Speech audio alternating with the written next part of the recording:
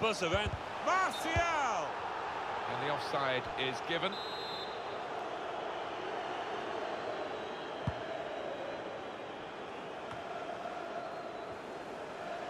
Jadon Sancho.